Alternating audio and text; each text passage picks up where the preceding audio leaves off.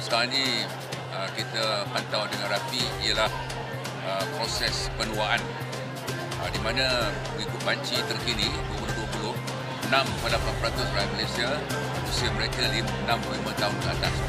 Ini beri implikasi pada kesihatan, kepada jaminan kesihatan, kepada kalau uh, mereka bentuk bangunan, apabila ratusan orang tua ini meningkat.